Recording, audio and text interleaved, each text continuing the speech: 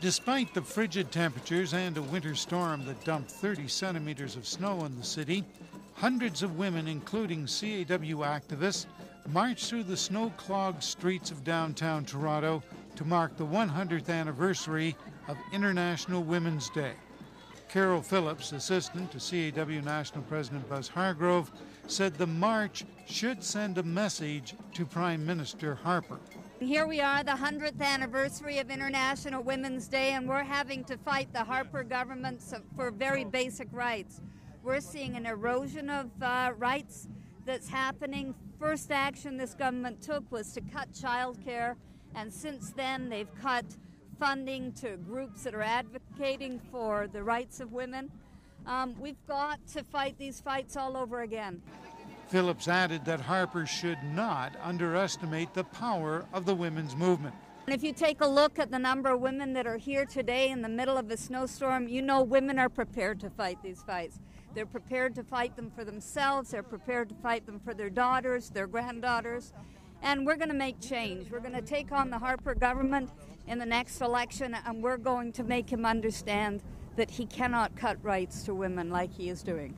At a rally prior to the march, the women heard numerous speakers dealing with a broad range of women's issues, including Judy Vashti Persad of Women Working with Immigrant Women. Today, we rally and march to demand our right to equal pay for work of equal value. We demand our right to unionize. We demand an end to violence against women and children. We demand an end to wars.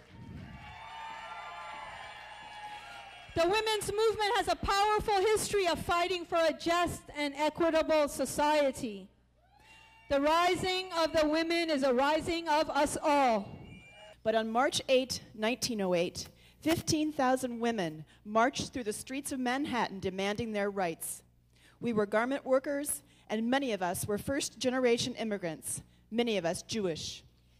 Despite the successes since 1908, the fight for women's rights and social justice is continuing.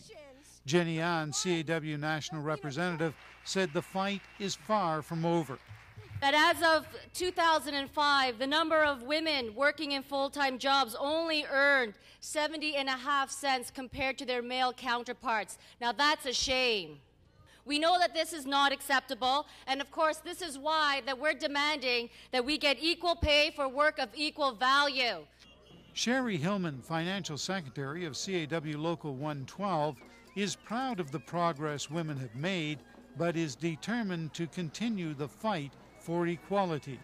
And although we've made a lot of progress and achieved a lot over those years, from uh, being recognized legally as persons to the right to vote to uh, control over our bodies, we've still got a long way to go. Women today still only make 70% of what men do, so economic equality is still high on our priority list and a decent national child care program for working women and uh, many other issues.